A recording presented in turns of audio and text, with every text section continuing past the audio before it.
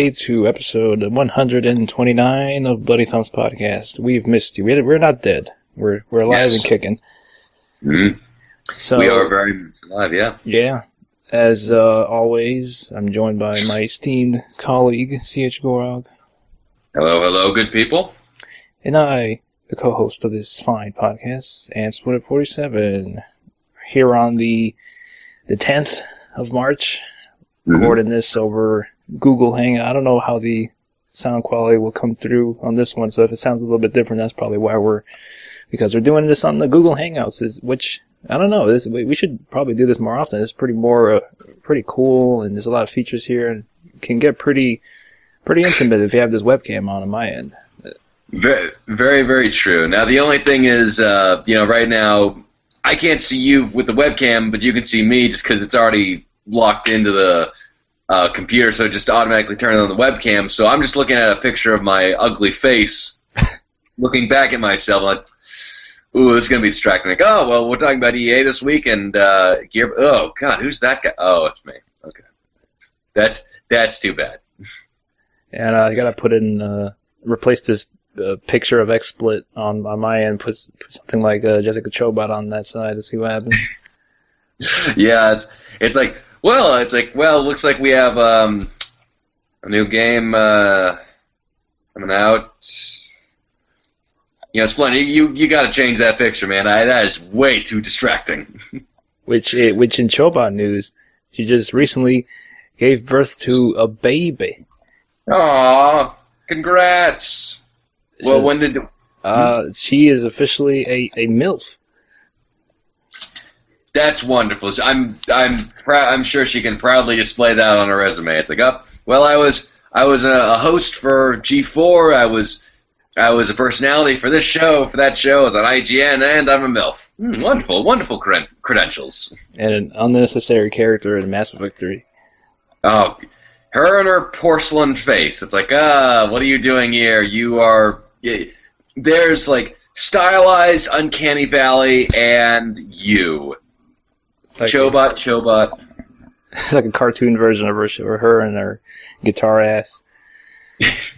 just like okay, like, it would just have been better if they just try if they just made her a chipmunk because that's what her you know cheeks looked like. It's like uh, you know it, it- you have to see her in real life, or at least have, like have a picture of her in real life to see like oh okay she she looks she looks you know she's a very good looking person. But in the game, just like when they try to transfer that to the, the Mass Effect universe, like ooh that is. We have not. uh, George Lucas doesn't have the CG to make that even look close. That was the the moment that developers and publishers alike saw that and went, "We got to go next gen. We got to get this right." like it's and Kud, uh, Ken Kutaragi was like, "We need to make PS4 right now. Everybody, come on, get get up right now. We're, we're done with PS3." we got to get the hair and we got to get Chobot likeliness in the games right this time. God damn it! We have to have emotion. We have a lot, a lot of emotion, and then it's like we should. And if ever we have. Uh, like if this ever becomes like a video uh, version of the podcast, we just like should have the words emotion appear on the screen, just because uh, that's a, that is a not so funny joke, uh, you know, that I just said at uh, the expense of David Cage. Yeah, I was gonna bring it up. He's like, "You reading? Are you reading from the David Cage manual of keywords?" Well, apparently, more polygons means more emotions, even though that's not the case at all and has been proven wrong. And I love the fact that I can't remember which uh, developer came after uh, Cage that said like, no, polygons aren't all that's there. It's like really, they obviously didn't talk to each other, you know, before going on. Yeah, they just winged it. Uh, I'm sorry. They just winged it. I assume like everyone just showed up that morning. Was like nobody did the homework before, like last night. It's like, oh yeah, that's today. Um, I don't know. Let's get David Cage up here. Let's announce like a Street Fighter, uh, maybe a new Killzone, and yeah, then then we'll, we'll see what happens. Had Jonathan Blow there in his awesome shirt. Yeah, dude. Jonathan Blow. That's an interesting personality, but I have to say, yeah. Let's talk about the Sony press conference, and uh, I do find it very strange how there's.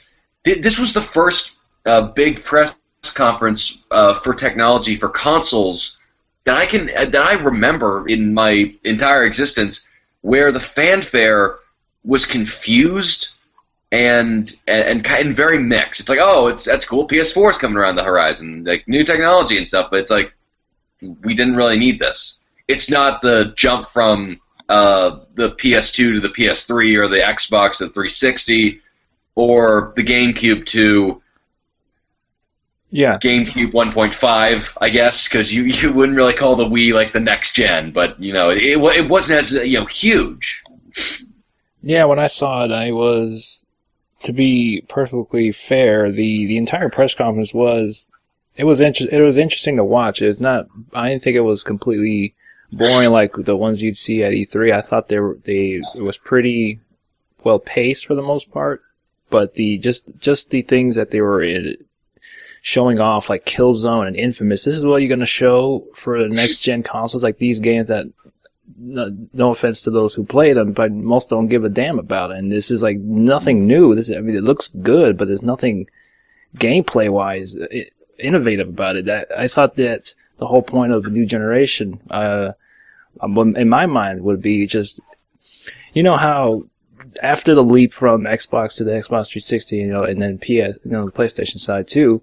Uh, mm-hmm. one of the games that I thought really did some interesting things with the with the technology that was and the hardware that was that was out there was the you know if you I, I know it's pretty it's, it's been out for a while and you know it's mixed and, and it's really hard to go back and play but the first Assassin's Creed game they did a lot of yeah. interesting things with the crowd system they did for like the first the first game they introduced introduced the crowd stuff and that's been in a lot of other games since then and that's things like that I think we should there should be more emphasis on in in terms of just in, incentivizing people to acknowledge that that's what should we should be focusing on. Just the things we could do with the games, with with the hardware and all that technology there, instead of just nothing wrong with integrating more of the social media aspect. That's kind of the the, the world we live in now, and all that stuff they showed off with. Yeah playing like streaming these demos and things like that as a download sounds cool, but a part of me thinks this is gonna re- it's gonna require a lot of bandwidth to get this done. And not, it, I mean, it's it's ter- I mean, it's terrible enough on Xbox Live. You can barely understand each other. It's like you're in a tin can. Yeah, yeah, absolutely. And and, and it's funny just because like they're they're emphasizing everything except for the game portion. They they've been saying. Uh, you know they're going to be working with more developers for more arcade and indie titles, which I I really want to see more of. I definitely think that this generation was a start for indie development and more uh, uh, low budgeted uh, studios to actually have their foot in the door in terms of, of showing off their product. Uh, Xbox Live is pretty much forgotten uh, the indie section, and you know it's it, the arcade and PSN stuff aren't as prevalent uh, you know, but you know, I like the fact that they're concentrating a little bit more on, uh, you know, uh, are the arcade titles, but the games just seem don't aren't just as breathtaking because we don't have Assassin's Creed, we don't have that Assassin's Creed or Bioshock or um, Metal Gear Solid Four where it's like this huge leap and it's like, wow, this is so different that like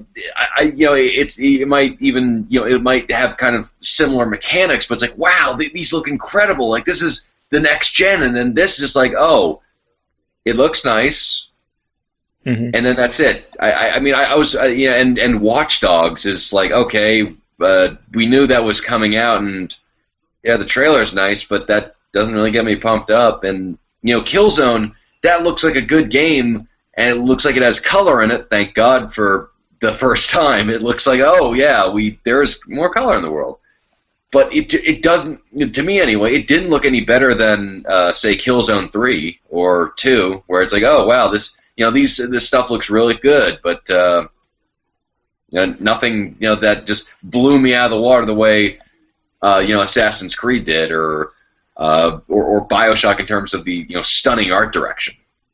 Yeah, just like I mentioned, things that you can do in games, like having a lot of NPCs on screen, that is something that you were able you were not able to do that really that well in in you know the Xbox. And once the Xbox 360 came out, they had that they had that uh, hardware to be able to do so. Things like that I like to see and you know be more kind of a more emphasis on just this next generation. But uh, that's it doesn't seem to be quite the case. We'll see with, with what Microsoft has in store and. Uh, I, I, the PS4 has has potential. I, I won't say it doesn't, and uh, it's if it if it's easier to make games for, which is one of the biggest problems for the PS3 had that that developers had a hard time making games for for some reason. Like a lot of games that came out for both 360 and PS3, a lot of people preferred getting the 360 version because the PS3 version always had problems, especially Bethesda games is already buggy enough, and on the PS3 is not. Sometimes that's not helpful at all, and yeah, with with the uh, the processor that the PS3 used came really came back to bite them in the ass because uh, yeah, then you have companies that want to go multi-console, and with Sony, it's, just, it's so much harder to you know to, to develop multi-console and then still be using their processor uh, to the same you know to the maximum extent they have. Like you know, Heavenly Sword looks great and you know, a lot of uh, the PS3 exclusives, uh, you know, use the uh, use their processor to a good amount, but just when you have these companies who want to make more money because of their, you know, to, to cover more risks that they're taking with their with these huge budgets, it, it it does beg the question of okay, why did we develop this thing if nobody's really going to be using it to its full extent? And then that makes me wonder. Uh, you know, PS4 has been said to be very uh, you know uh, almost uh, simultaneously combat- uh, compatible with uh, the Vita, which uh, w- you know which actually uses the same sort of processor that the PS3 uses. So I'm wondering how how in the world is that going to work out and, and talk to the uh, PS4? Transferring, baby, transferring. yeah, if uh, yeah, as uh, as Hideo Kojima said, like just transferring is the whole new process. Did you see that video where, he's where it's just, it's just talking about transferring data from the Vita to the PS3, and like everyone was like, "Oh, that's that's cool because it's Hideo Kojima, yay!" And then that's it. You know, it's it. I, I you don't you don't see like Miyamoto just like going like, "Oh, look, it's the Wii U gamepad," and he's like touching. It's like, "Oh, look at him! It's he's fucking awesome. Look at that." I know. He's touching things. So yeah, that's kind of the some of the, highlights there. I guess that's the I really can really talk about for the uh, Sony press conference a little a little late on that, but that's I mean just thought we uh, talk about it a little bit. Yeah, well, what's interesting is that uh, uh, Watch Dogs has been announced for uh, Sony's PS4 and for whatever Microsoft has in store. That kind of makes me think that the 720 is not far behind in terms of uh, you know coming out uh, relatively soon, and I, I still say that it's too it's way too soon. We still have a lot of juice left in this generation that we're not really using it to its maximum extent, and even a console that's you know that was uh, you know even a new console in Wii in the Wii U is not really selling that well or as well as they had hoped, and uh, yeah, it just it just makes me think that okay, th- this is just a bit of a weird time for uh, for for a new console, especially when we haven't worked out the kinks with the worst problems that this generation has, has shown us, and it's still uh, very prevalent. A lot of the business side of things, like microtransactions, DRM, and just uh, pre-orders upon pre-orders, and, and just the whole it, it, it just stuff that really we should we should have been able to work out by now, but it's it's still somewhat prevalent, and I don't know know why. Yeah, the pre-orders are crazy. I mean, they already have pre-orders out for that Destiny game right when yeah, it was game, announced. It, the game is not even in the alpha phase, and, it, and it, it's getting a, a pre-order, which is okay. It's Bungie, so they're usually going to deliver the goods on a game but that being said, come on. At least wait until like there's a playable version of it out, and then we can enjoy uh, going on to Amazon or going over to Game Stop I remember not GameSpot yes. because I keep getting those damn names mixed up and pre-ordering it with the uh, the teenager behind the uh, counter. And I, I, I just yeah, it, it's getting really weird. It's, and you know, it's it's very telling of the times, especially when you have uh, SimCity, which is just really releasing uh, recently released by EA, who uh, did something very stupid. They had always online uh, DRM and uh, for the game, and their servers are mostly down. So people have paid sixty dollars for a game that doesn't work, and then EA tried to justify it by saying like, "Oh." It, it not even justify. They said, "Oh, everyone's having such a fun time that the servers are loading up, are you know so full. Like, oh, everyone's having good grand old time. We don't want to move people from the European servers because they're just enjoying their cities there." It's like, okay, dude, we're not fucking stupid we know that you guys are idiots and you have no idea how to do damage control. We just and, weren't. They just weren't prepared. They didn't have enough servers. Yeah, not enough server. Well, they they should expect this. They're freaking EA. They don't have. You, you, they if this is this is a business, and they should at least anticipate problems with their business model. And the business model is like eighty percent of the people who bought the game could not play it and that is something telling, very telling of their business mentality of, oh, we'll fix it, you know, post launch. And that actually got me to thinking. We are very, uh, we're living in, uh, this generation specifically where uh, it's now acceptable to release a buggy product um, and, and, just wait for uh, pre-launch uh, DLC or, or, updates to fix the fix the game like for instance the um, Factor Five, who uh, did the Rogue Squadron series. They did um, uh, what was it, Dragon's Lair or Lair, where you just controlled a big ass dragon stomping around on the battlefield. Uh, I remember that. Is it the game with the the, the move control? No, No, the uh, DualShock or whatever. Yeah, uh, the six axis. Six axis. That was yeah. That was the, that was the uh, the gimmick that they were pitching for about five minutes before they got bored, and uh, and you know it was an incredibly buggy game. It didn't work at all. And then they released a uh, you know a post launch uh, a, a post launch uh, update which fixed it all. But does that beg the question? Okay, so should uh, people start reviewing games as they currently are, or should they review them kind of as their perfected form?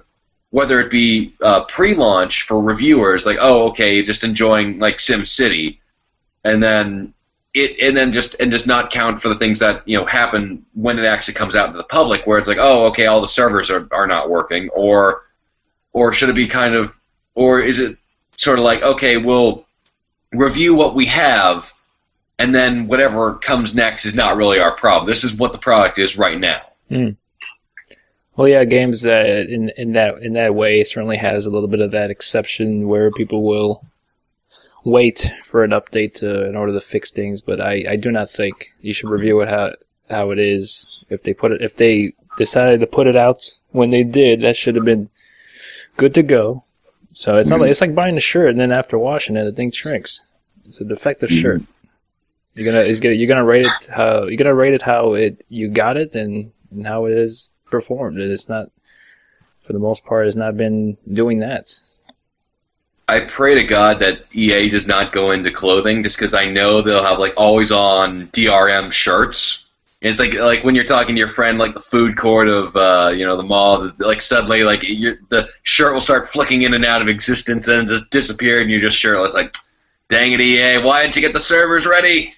Always on tag that you can't get rid of because most shirts have been pretty pretty uh you know it's pretty unanimous that they've all kind of been gone to that route of not really having tags on their shirts. It's more like that uh all that info is printed on there. so they'll have the always on tag, so you know it's from EA, and if you can't sell it for or give it to anybody because it has a tag on the back. And when you cut it off, it just regrows. yeah.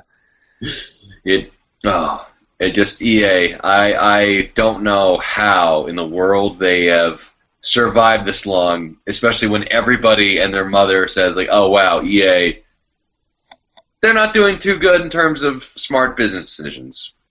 No, they've been, they've become more people have seen them as worse than Activision. Activision hasn't even really been in the limelight of you know doing anything uh, anything bad. I think as we maybe we expected of them, or maybe it's just kind of died down, and we already know what to kind of expect It with them. The EA has been, oof, they have a pretty pretty bad track record these past couple of years. How? How did EA go from like uh, Riccitiello was saying, "Oh, we're going to turn the company around. We we've learned from our mistakes, like the death of Bullfrog, and we're gonna don't worry, guys. We're, we're going to get everything up and running. And then as soon as you know we we give them a couple of years, they're worse than Activision. How?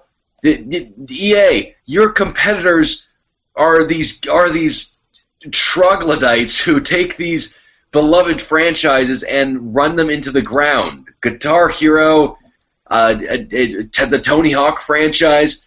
These are things that were uh, that were destroyed willingly and openly by this company, and you somehow make yourself look worse than them. It's and it's it's it's ludicrous, and uh, yeah, it. I, which actually is really surprising given the fact of uh, one of the more recent uh, video game releases. Would you like to know which one? Recent, I should know this. I don't know why I'm why I'm spacing out on this. It's, it's kind of a trick question. No, I'm at I'm at a I'm lost here. Um, it is the PC port of uh, Brutal Legend. Ah, yes, I did. I did see that I was on the docket there. I could not. I'm not even looking at my own notes. What's wrong with me? Uh, no, no worries there. It's um, you know, apparently Double Fine is also publishing it actually. So uh, it's not even EA who's publishing it right now. So uh, screw you, EA, for doing that. that you know, they they did uh, they published the uh, console version when they actually had the initiative to make new games, where they had the um, they had uh, Brutal Legend, uh, Dead Space, Dante's Inferno, and Mirror's Edge kind of all at the same time, and then you know none of them really panned out commercially except for Dead Space, which then they continued to sort of milk the franchise for. And uh, no matter what they say, they are lying about Dice having creative freedom. They don't have creative freedom. They're doing they're just doing Battlefield games. Look at the Wikipedia.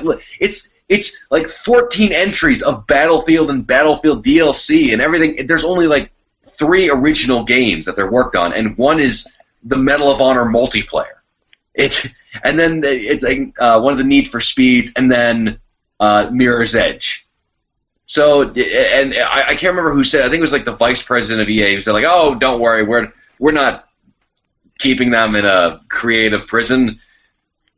You might want to do that thing where people think before they say words because EA obviously hasn't. And you know, with Brutal Legend, I'm surprised that uh, Double Fine got their rights back. You know, could, just because you know EA would usually have a stranglehold on anything that could even possibly give them money. And uh, anyway, just uh, Brutal Legends coming out on well, it actually was released on February 25th uh, for the PC.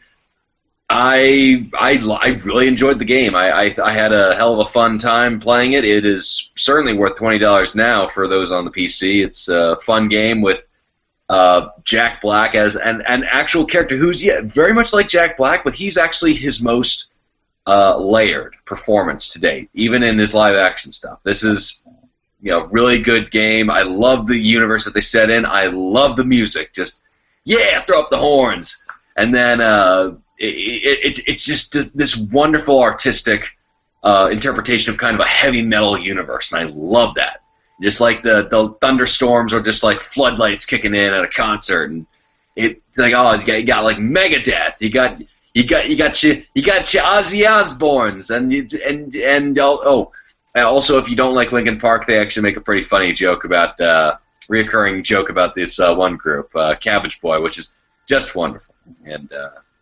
So I'd, I'd recommend it. Well, that's good to hear because I, I, I assume now that it's it's been it's been quite a while since that game has come out on the on the consoles, and to see it on the PC is pretty pretty nice. Uh, nice to see. I, I guess that's probably goes to show maybe EA had that hand in not supporting the PC version of that. And I know like, I was I was thinking of of just how even more uh, uh, you know desirable it is to get into the PC gaming uh, scene Mhm. because a lot of a lot of the third party games are also on the PC for the most part.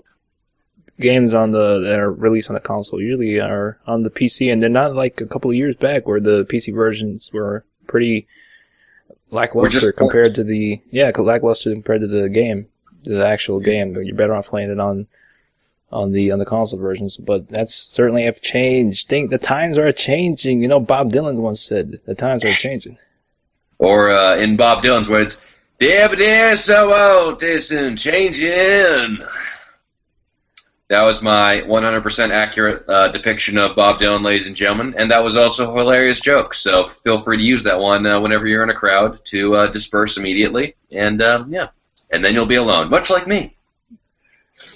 So yeah, that's that's that's uh, that's it for the Brutal Legend side of things. Check it out on the PC. The CH gives it a two thumbs up. Yes, I, I give it two thumbs up. But you know what I love more than rock and roll? Hmm, that is a good question. Rock and roll. I mean, there's rock and roll, and there's I- rock and roll. It, you, there, rock and roll is pretty high up there. But do you know what I love more? Pirates. Yes, yes, indeed. I love booty, and uh, I I am and uh, this next one actually really makes me interested. It's uh, Ubisoft announcing Assassin's Creed 4 Black Flag. Uh, Which, I'm, I'm I'm a little excited about. I I mean I we've never really gotten a good pirate game, and this is this offers something well a good one. What's a good one? You You, sir, are wrong. Uh, the Secret of Monkey Island is one of the best games of all time, and anyone who says otherwise is just lying. okay, except for that. May- Maybe And- more of a yeah. uh, maybe more like a open world pirate game. Very, yeah, very true. There's there hasn't been any good ones. Like there was Sid Meier's Pirates that no one remembers. It's like I remember it from like a demo of it. It's like, ah, this is cool. I get to be a pirate. But wow, this game is kind of buggy. And then didn't remember much of it. Yeah, but I don't know. I I'm a little mixed on it. I like I think after three, I was really burnt out by the series. I think uh, I'm I'm not really liking the direction Ubisoft is taking with this with this with this franchise and putting out on a yearly basis. Oh yeah, this it, this has get, gotten me worried. But I at least hope. Yeah, this is a hope against hope that uh, they're not even going to try to have the future storyline because that's the least interesting thing about uh. The assa- you know you have you're a bad it's bad storytelling when the part where it's the end of the world and aliens are coming down to either destroy or save humanity or enslave it. Uh, and that's the least interesting part of your story, you know something is amiss.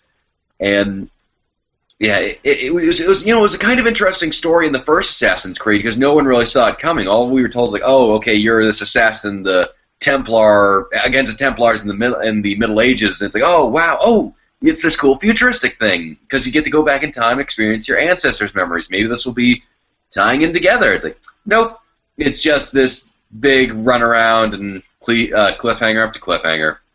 And uh, I, but the thing is, I I do like pirates. I think pirates need their, you know, pirates need their Red Dead Redemption, where you know westerns weren't exactly, uh, you know, the biggest staple mark in video game culture. They, we had Gun and uh, Call of Juarez, but not nothing that was really like, oh, this is a AAA game. But then came Red Dead Redemption.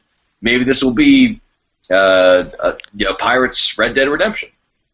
Oh, I hope so too, and I think Ubisoft is a, certainly a developer that can pull off such a thing. They've made obviously the, the Assassin's Creed games and all those have been pretty visceral in their kind of presentation, and you know, say what you will on their alternate takes on uh, historical fic on historical uh, events that have transpired, and um, I, I probably will end up picking this up. As much as I say I'm not a huge fan of them releasing this on a yearly basis, I probably will pick this up.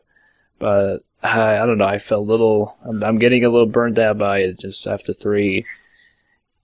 Uh, Well, because- three was the was exactly I, I played it on the, the week it came out. It was incredibly buggy, more than uh, the past Assassin's Creed games have been, and a lot of it is kind of ruined a little bit of my experience with it. And I I assume probably by this point it's been patched to it's been patched to solve most of the issues it had, and just I don't know some of the parts just felt really really linear. It was like some of the missions were linear, more linear than compared to the, the past Assassin's Creed games.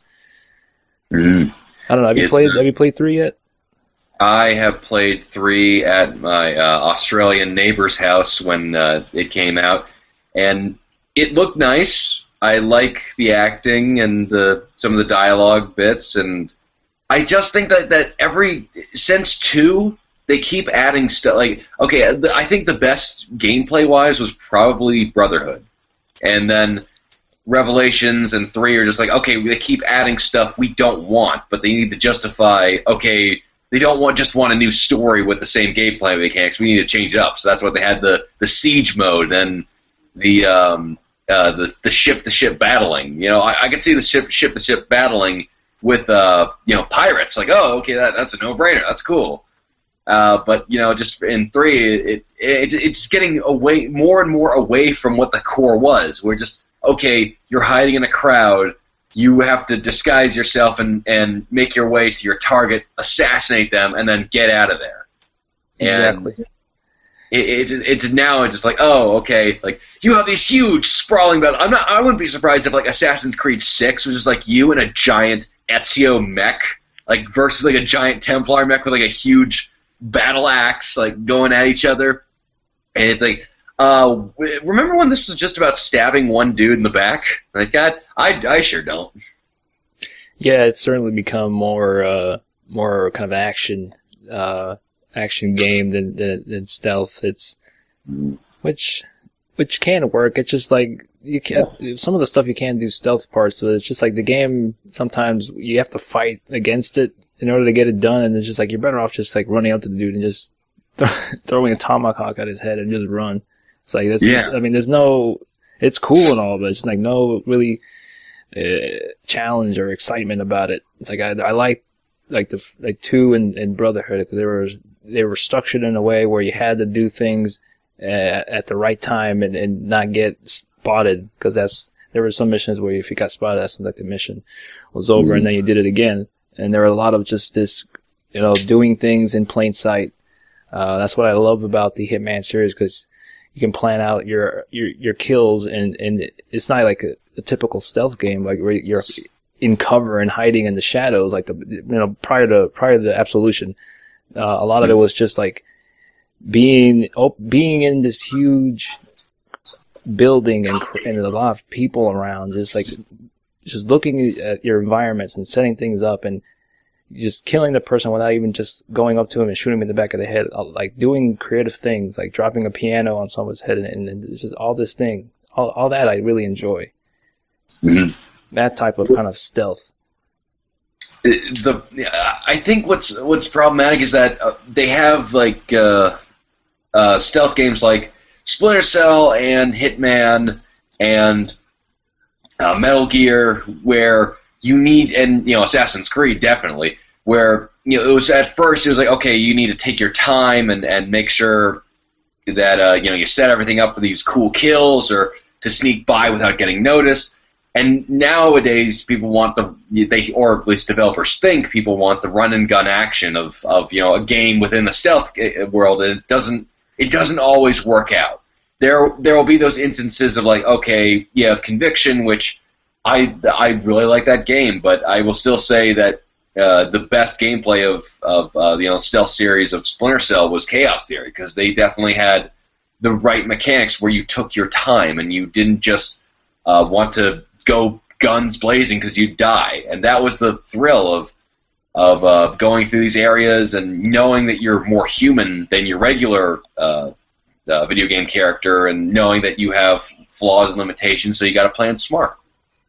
Oh yeah, I, I I agree with you on that. That's that's Chaos Theory is the, the pinnacle of what you could do, what you can take with the, the traditional uh, Splinter Cell game, and you know, Conviction is it's a great game. It's it's not a not very traditional Splinter Cell at at, at, at its core, but there are some elements that are there from the past games, but it's yeah, it's more action based and, and mm. you know hopefully with we the the newer one is going to be a bit more of, of both or just kind of how you how you go about it, you know, doing stealth and and action and mixing them up. Is that's what I'm hoping for with with that.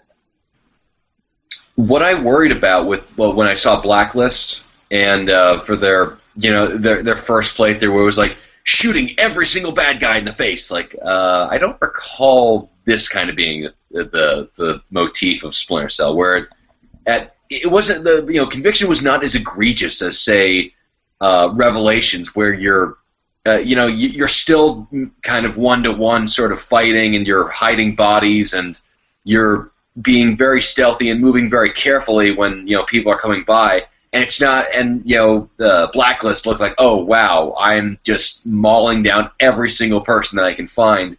And i'm a, I, I think developers are afraid of scaling back the the uh, the epicness of, of the games which uh, you know honestly they lead that leads to more problems. Like for instance resident evil 6 where they tried uh, to make it so much of an action game even more so than Resident Evil 5 that it lost all the flavor of Resident Evil, where there's it was barely an uh, it had a passing resemblance to the Resident Evil franchise, and it was ju- it was just just became this bloated mess, and it's it you know it does make me worried that developers are not really focusing on oh okay we can scale this back down and maybe have a little bit more of an intimate game.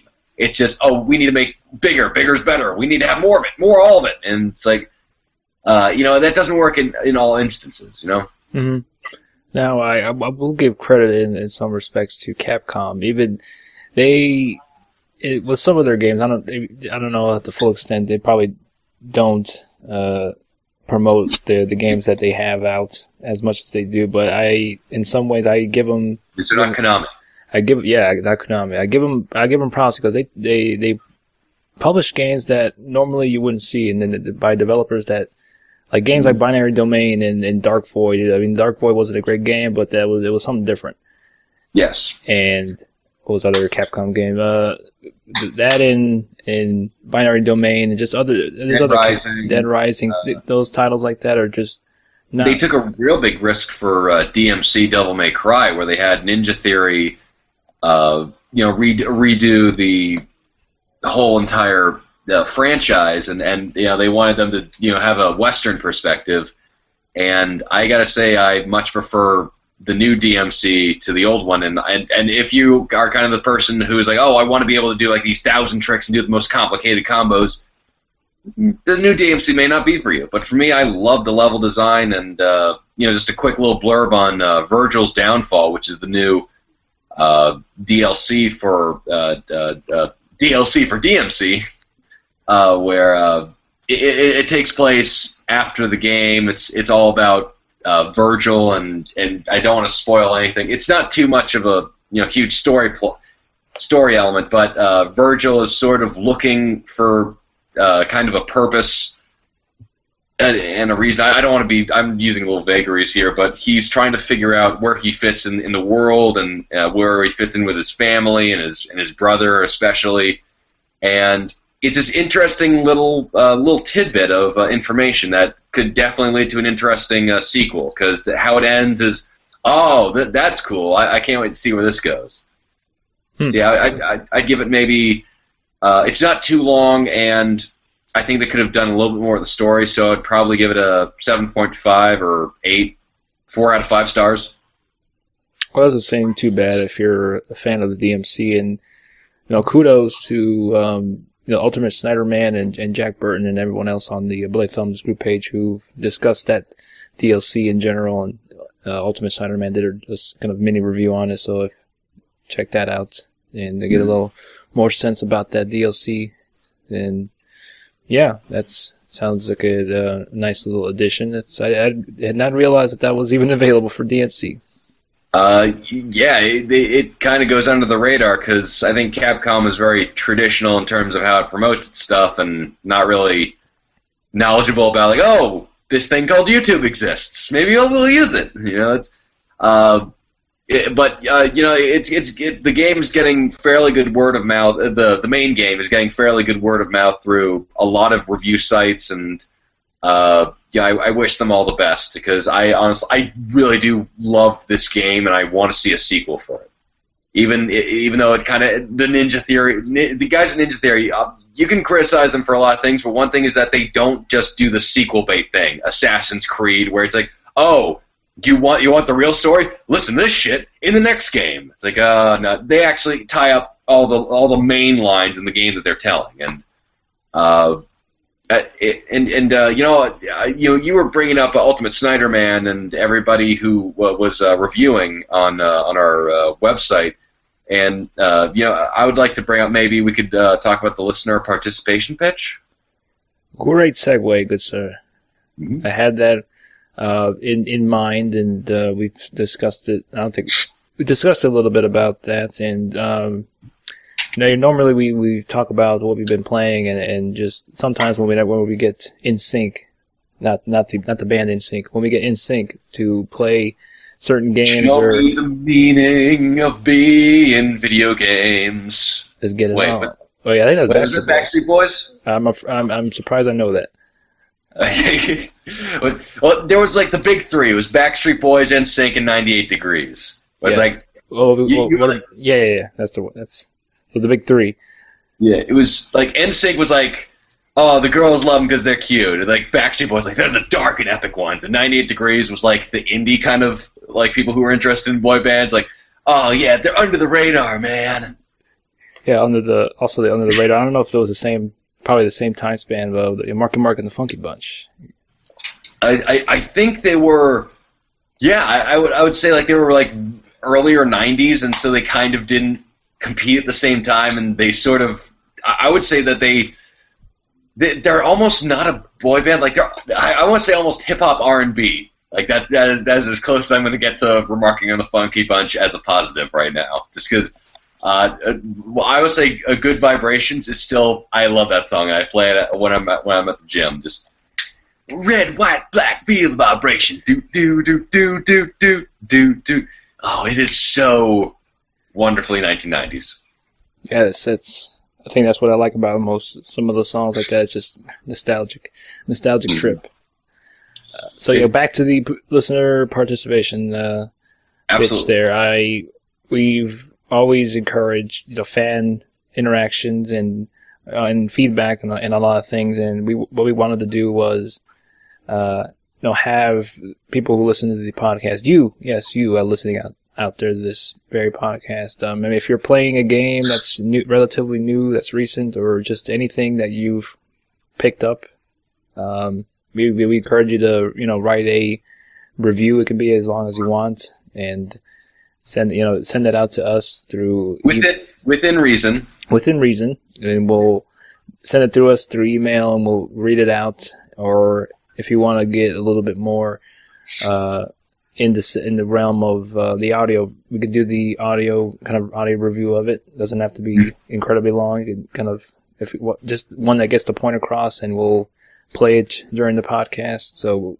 send it out to us on the Bloody Thumbs podcast at gmail.com and and yeah, we hope you do that, and we'll definitely play it on the during the podcast to get some kind of the separate little segment along with this one, just uh, sort of to give you guys a break from our dull voices, and you can listen to the uh, listeners do some mini reviews on whatever games they're playing. Mm, absolutely. With Stanley Kubrick or Black Magic or Transmorpher or whoever or whenever you guys want to you know voice your opinion and respect, come on. We're more than happy to hear what you have to say, and we will fight to your uh, we'll fight to the death for your right to say it. Exactly.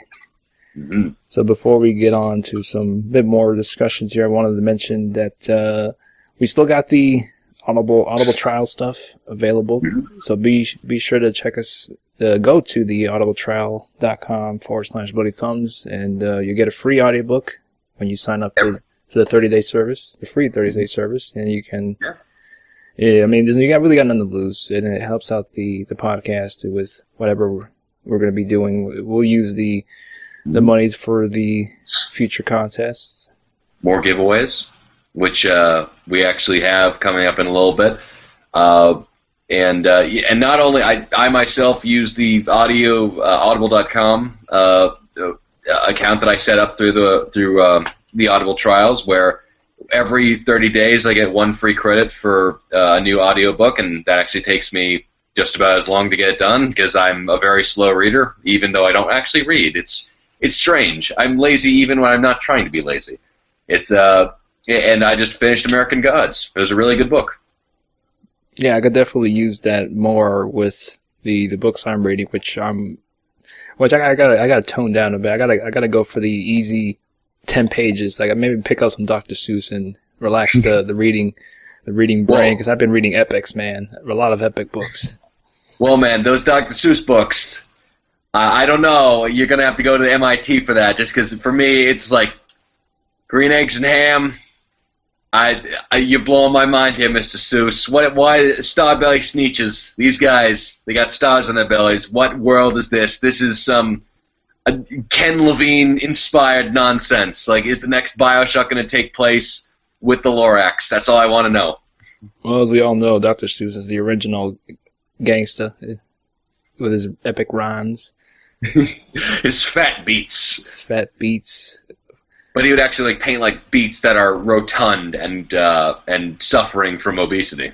that take up a good two pages, so you gives you a break from reading reading the words. So yeah, that we just wanted to bring that up, not just out of sheer cash-ins. You know, that we've always strive to you know give back to our listeners, and this is certainly an instance where you can also give back to us in the in the form of just going to the audibletrial.com forward slash bloody thumbs and uh, signing up for the free 30 day trial. And then you get the one free audiobook with that. And and hopefully it'll encourage you to you know listen slash Mhm. read. Because I, I think even though you're not reading the words i mean you're listening to what's what somebody else read it you're still absorbing the information so don't don't, get discouraged because you're not actually reading the words unlike me because I, I read i read the words man Uh, it, it's good, and, and you know, for me, I'm more of an audio learner myself rather than kind of reading a book because I, I love reading books, but I don't always absorb the details, and sometimes I'll miss something and then have to flip back to a couple of pages and reread something.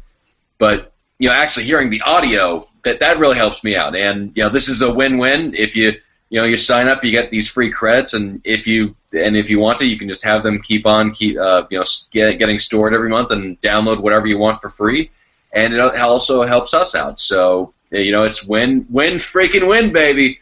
So uh, you know, we would love it if you hopped on to uh, the. Let me just give you the URL right here uh, for uh, audio, uh, audibletrial.com forward slash bloody thumbs. Correctamundo, and also be sure to keep it keep that uh, bookmarked, or I don't know if you can bookmark email addresses. Just write it Mhm. down somewhere. Uh, Bloody Thumbs Podcast at gmail.com. That's where you can send your audio reviews slash uh, written reviews of, of the games you're playing, and we'll be sure to make that uh, public on on future podcasts. And uh, but did you want to quickly go into maybe the contest for that we'll announce on uh, 130th, or maybe we can announce that on the next episode.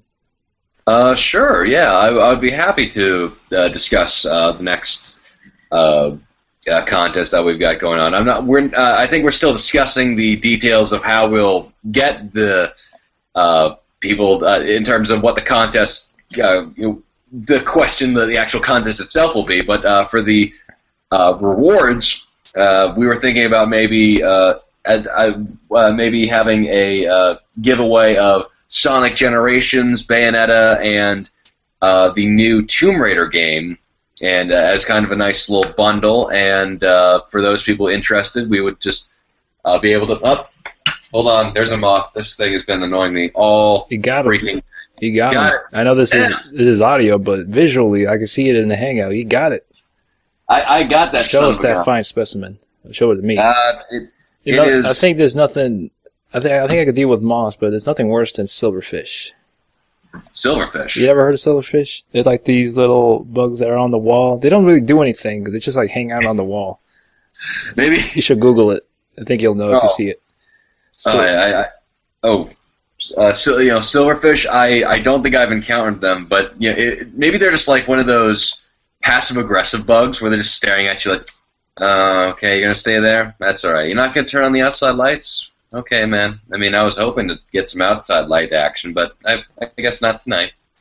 Yeah, let me see if I can drag and drop a photo from from Google Images onto the documents. If you scroll all the way down, you can enjoy the little uh, picture of Christopher Walken. I, I did see that, and uh, trust me, whenever uh, I'm walking on sunshine right now, just I'm just I'm just enjoying this picture. It's it's a picture of Christopher Walken in a um, in a uh, one of those uh, stool chairs where that have no back, but you know wheels on the very bottom of it, and he's got uh, he looks like kind of a huntsman going on right now. He's he's looking happy, and uh, he's got some nice boots on, and those boots are definitely made for walking. Holy moly! I'm sorry. I just saw a picture of a silverfish. They they are larger than they appear in this picture. They're they're a bit more small. They're like the uh, like the size of uh, like half of my pinky. I, I, I would love it if, it if you just like blew it up to the uh, to like a 1080 background. Like the, the, this is they're all over Ve- they're all over Vegas. They're coming for us. Yeah, these things are terrible. They're they're eating everything.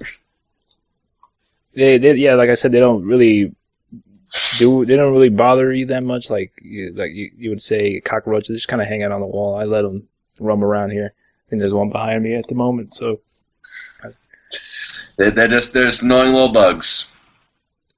So they, that is that, that's what we've got. Uh, that's your that's here's the twist, ladies and gentlemen. That's CH's end of the of the prizes for this contest. My what a twist! We've got the digital copies of some flicks here on uh, you can down you can get them watch them on various devices and websites. I believe it's uh, there's digital copy for for it on iTunes and uh, some I think you stream it online or something. It's the digital copy of Expendables 2. Who doesn't like watching men over 50 kick ass, shoot guns? Uh, uh, you know what? They they need Expendables 3, R. Lee Ermey and then the, then the cycle is now complete. Just like all the action stars who you want to see kicking ass and taking names, and and it also has Chuck Lorre, uh, Chuck Lorre, Chuck Norris. Everybody, Chuck Lorre is his uh, is his cousin. it's like Steven Spielbergo when you want to have somebody who kind of sounds like the real actor to get people's attention. But uh, yeah, they they have uh, Arnold Schwarzenegger, Bruce Willis, they have Jet Li, they have of course Sylvester Stallone. You gotta have in there. John Claude Van Damme. Ooh, Van Damme, that sounds good. And we have here the other the other digital copy of The Dark Knight Rises. Now I know it's one of the mixed films of, of last year, but still very successful. And Dread, Dredd, Ultraviolence. Ooh, yeah. I heard I heard Dredd was really really good. So It's yeah, good. I'm I'm gonna enter the competition myself to see if uh, see if I can win that. Yeah, Dredd I really liked because just they're I like how they just have a story context for slow motion. You know how slow motion are just oversaturated with slow motion. mm-hmm. Yeah. And this one has certainly the the movie has actual story context for it, and it's not very very often you see it. It's just when people are taking the drug they call slow mo, and then everything just kind of goes in slow motion. Hence the name Mhm. slow mo. Yeah, it got me actually to read read up on some Dredd comics. I'm reading some at the moment. It's this big, uh, bulky collection of short stories from the 80s. Um, there's a I was looking into the Judge Dredd, and there's a hell of a lot of stories about Judge Dredd. So I'm actually curious on reading uh, the Judge Dredd and Batman comic book crossover because they're both very diff- very opposite guys with different morals. Because you know, Batman is kind of the guy about bringing justice to to those who need it, and Judge Dredd is just about enforcing the law. And even Mhm. this, even the even the most minor things, he'll he'll get on your ass about, it. and, and if you just you know a lot of things that you know that can give you that cause you to get an ex- executed, he'll just shoot you right on the spot because he's, as we know, You better not jaywalk in front of him. no, don't jaywalk. He'll shoot you. He shoot you. He shoot you down, man. You wait for the light to turn green. So I'd be very interested in reading uh, just how these two personalities collide. hmm And I, I, I love these cross. Like, what what crossover do you want to see? Because they had like Batman versus Alien, and they had like Bruce uh, Army of Darkness versus uh, Freddy versus Jason. It's like, what what, what crossover do you want to see? Oh man, that's that's a tough one. I know there's been plenty of plenty of ones like you've mentioned, uh, especially the Batman and Predator stuff, and surprisingly, uh, Batman and Spawn. Uh, that's that's a good. That's definitely a interesting conundrum here. Mm-hmm. Probably something with Deadly Premonition, which I which I quite enjoy. Maybe some Binary Domain. Mix those two together. Get Big Bo and York Mor- Agent York Morgan together in a room. See what happens. A but uh, you know a buddy road trip film. I would love to see that. Them, you know, you know, trying to get the ladies and trying to get to California in time to get his uncle's inheritance, or you know, just, what's going on? You have to find out to watch. Uh, I yeah, I would I would uh, love to see X Files meets Doctor Who. Nice. Yeah, I just because yeah, I always wanted to see like okay, uh, uh, you know, X Files was kind of always known for very serious, dramatic science fiction that's you know really dark, and Doctor Who's like oh okay, it's more lighthearted and fun. I would like to see like this really interesting middle ground between the two. It's gonna be pretty gray if you're gonna mix those together. Mm-hmm. So gray it might be Gears of War. Gears of War, yeah. Judgment Day or Judgment. I like to call it I Judgment Day. law. I don't know why. I just I keep thinking of Judge Dredd. Just uh, Karl Urban snarling. Just I am law. Well, it, it always goes back with the Stallone version of, of, of Judge Dredd, him Mhm. spouting that off left and right. But yeah, Ooh.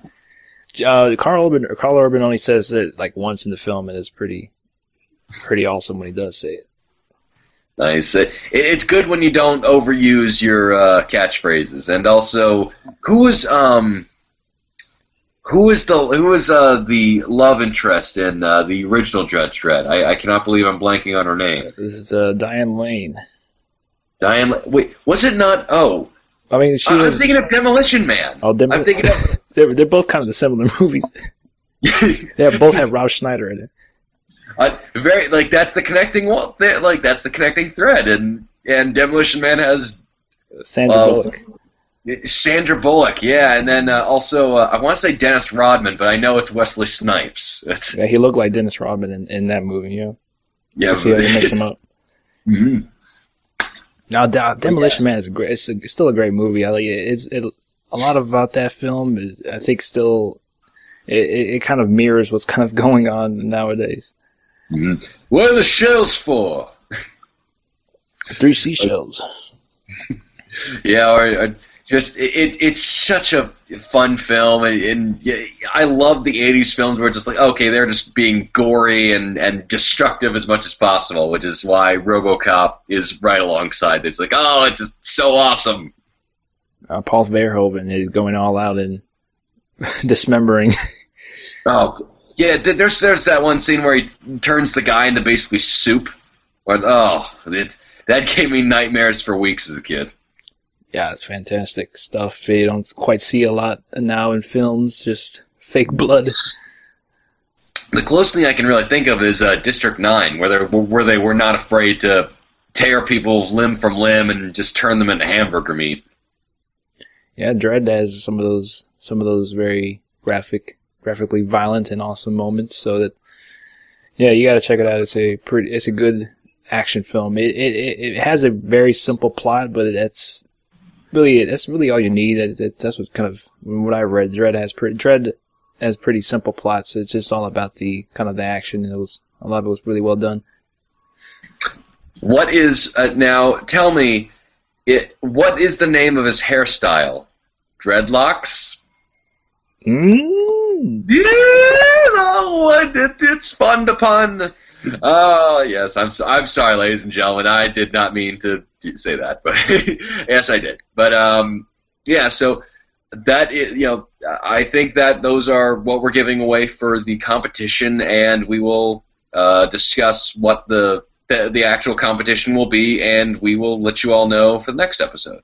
Yeah, that will be a work in progress until the next one. We'll figure it out. I know the last one we did was well, we had some, we had uh, listeners look for, I guess, uh, give us an answer on when you and I met, and that's when this whole, this whole formula, as you would like to put it, came came about.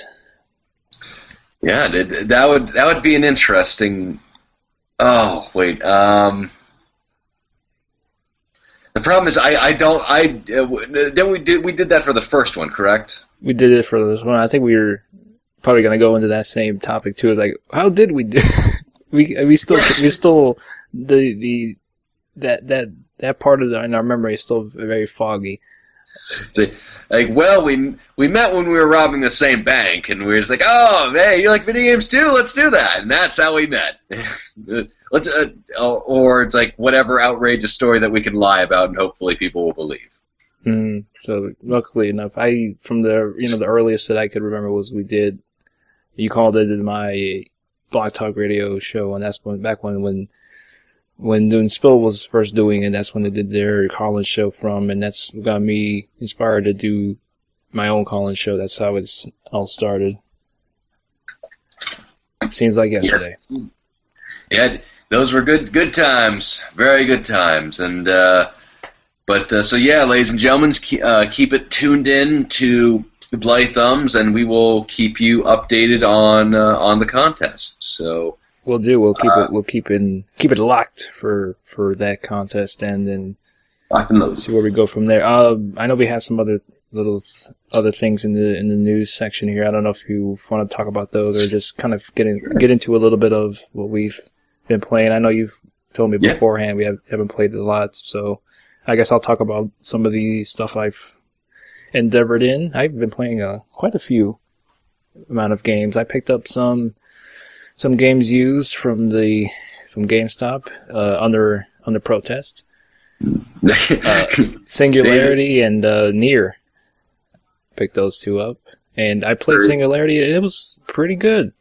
It, It's certainly one of those games Activision pumped out with you know really no backing or support for it, but it was actually a pretty fairly decent first-person shooter. I was in the mood for a first-person shooter, and that's it was a pretty quick one. It was about like six, I think it was like six to eight hours, some somewhere around there. That's like the typical average length for you know linear first-person shooters, and it was it has an interesting mythos about it. It kind of takes place around like you know the, I think like the 40s or something like that. I, I my, the memory's kind of vague on that, but it also has these elements of all you know vintage times with mixed in with um, them having future technologies. A lot reminded me a lot of some of the Captain America stuff. How they the the the enemy the opposing enemies of what was the the red the Red Skull had like this future. Yeah, Hydra, uh, baby. yeah, the Hydra had this all kind of advanced technology, and it was like only in like in the 40s, something like that. Mhm, yeah, It was It- it, was yeah, some sort of similar like that. And, cool.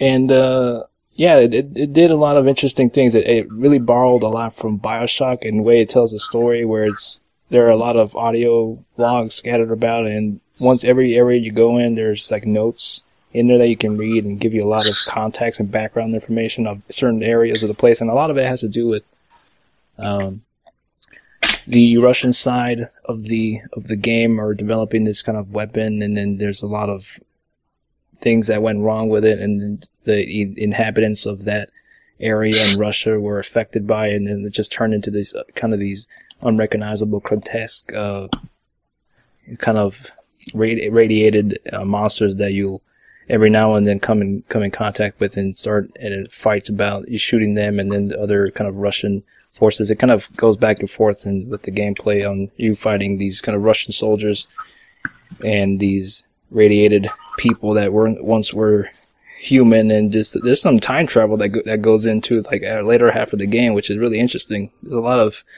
interesting twists and turns the game takes which is quite eh, which is quite surprising for this kind of game kind of first person shooter game you know put that put out by Activision that's not Call of Duty. Is did a lot of interesting things uh, I think it's worth the, uh, checking out. It's only like 10 bucks used at the at the at the least.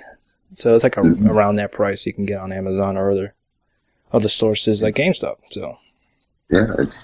Um, from what I heard, it's a, it's a very nice uh, hidden treasure that uh, should have gotten a little bit more attention, but uh, uh, but you know it, it's nice that we're bringing it up right here. So I have myself have not played it, so uh, that's that is a, certainly a game that I've been looking at, and and I've been interested in the time traveling mechanic that they've gotten there, because I always thought that was you know a fairly interesting uh, thing. I, I just ever since Prince of Persia and Ocarina of Time, I'm like, oh, cool, this time traveling. They could blend itself some pretty cool puzzles and fighting enemies cool. Like that, that, that would be interesting. Yeah, I think you'll quite enjoy it. Like I said, it takes a, it borrows a lot from Bioshock and you know how it tells a story and not having a lot of cutscenes. Like a lot of the background information you learn about areas you explore in that game are you know obtainable. Uh, you know you can seek seek it if you want to, or just shoot everything up. And but it's really well done how they do it. Just find just getting all this background information. You go into like a school and then you read all these. You you can look through the the desks that you know the kids were uh, that the kids sit in and you can read the notes like, oh, today is, I'm, i just came here from a different place and this is my first day of school. Like, ah, man, this is mm. dark stuff. And, and it has that, uh, you know, like I said, bi- a lot of Bioshock inspired things, uh, how gets things done. And, you know, the, the, the main kind of device you use in the game is called like TMD, and this is that's where the, some of the time travel things go into place, and it has different has different features of that device. You can make make and you can like um, if there's a stairs that is kind of broken, you can repair it and like can do the time travel thing where it goes back in in time and just do this to you can do this throughout the whole game and you did this like a huge huge bridge and just use it against enemies to just basically turn them into dust, which is pretty awesome. So a lot of uses of that. And like later on in the game when you see what you it give you the ability to just like, go all, all out with that with that mechanic because it, it's near the end of the game. Might as well might as well go out in a blast and not be limited to it because you can can't really use it too much. It's mm. you have to scatter around and look through drawers to pick up more of uh, more of the energy that powers it, so you can use it more. So yeah, overall worth checking out. Uh, played a PC game called Richard and Alice. Did a did a little review on that. Did a written review for the for the group page.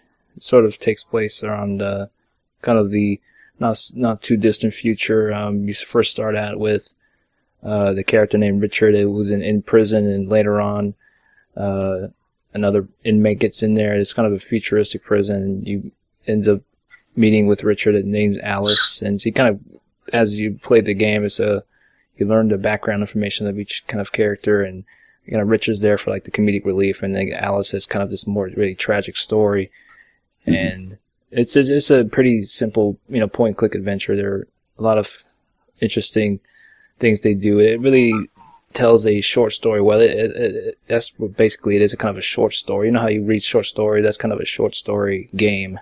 So it's I recommend anyone out there to check that out if you're in the, the PC gaming at the moment. It's like, five ninety nine. It's like an indie game available through Good Old Games and other various sources where indie games can thrive.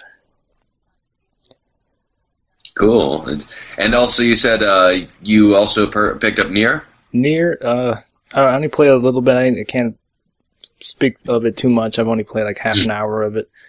Seems uh, interesting from what I've heard. I've heard a lot of interesting things about it. That you can get you can get more information out of it if you replay it again. But I haven't even delved into it that much to talk about. Um, the Mass Effect 3 Citadel DLC I played, uh, when I first saw that trailer for, for that DLC, it got me really excited. Um, I've, it also got me to listen to the, the review we did of Mass Effect 3. It, going, uh, I remember I was listening through that and playing through the single player of Mass Effect 3 again because I didn't have my Mass Effect 3 save after I beat it with the Shepard. My my Shepard that I've been using from the first game on, I had to play play through it a little bit and get get to the the part where I can access the DLC. Uh, it, the DLC is great. I really enjoyed it. It's very self-referential. There are a lot of great. It's the most goofy uh, DLCs and just things they do with the characters that they really let their hair down for this one. It's certainly uh.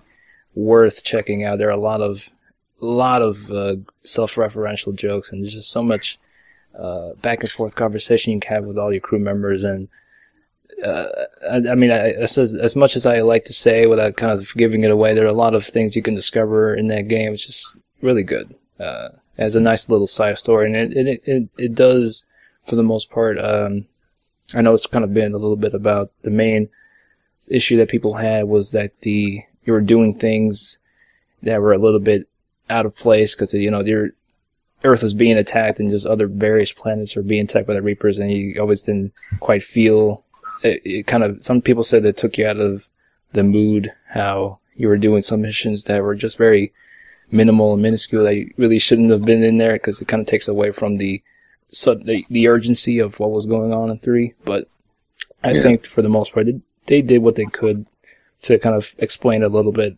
in the DLCs. Like they were going for, uh, I think Hackett contacted Shepard to say like the you know the Normandy's taken some a little bit of damage since you know you've been on your adventure to gather up gather up assets. So we're gonna give you some we're gonna give you some time off mandatory to kind of chill out. And, uh, you know, with Shepard, you never can have a good relaxed time without things happening to you. And basically, there's uh, kind of a newer enemy introduced kind of group after Shepard that they want to kill him, and that's kind of and the things with his uh, identity and just taking his personal information that, and it really gets that's as much as I could say about it, but it's like I said it a lot. They're, they they really invested. It's one of the biggest I think the biggest DLCs they put out for Mass Effect. It's like four gigs. I had to download it in.